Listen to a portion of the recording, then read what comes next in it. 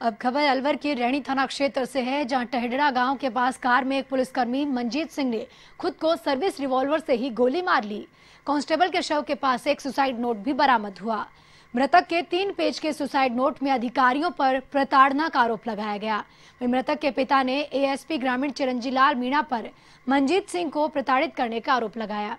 मृतक के पिता ने इस मामले की उच्च स्तरीय जाँच करवाने और साथ ही दोषी एएसपी के खिलाफ उचित कार्रवाई की मांग की है। मृतक कांस्टेबल के परिजनों ने सुसाइड नोट की कॉपी नहीं मिलने तक पोस्टमार्टम करवाने से साफ़ इनकार कर दिया। मौके पर पुलिस के अधिकारी समझाइश में जुटे रहे और फ़िलहाल पुलिस इस पूरे मामले की अब गहनता से जाँच कर रही है। चौराने को लगभग शाम को सूचना मिली थी कि एक डेड बॉडी एक गाड़ी में पड़ी हुई है। तो ऐसे चौरानी वहाँ मौके पर पहुँचे और उन्होंने देखा कि कांस्टेबल मंजीत की बॉडी है वो तो उन्होंने सूचित किया, परिजनों को बुलवाया गया। और वो गाड़ी अंदर से चालू थी और जो उसको बुलवाया गया तो उससे मंजीत की बॉडी मिली है।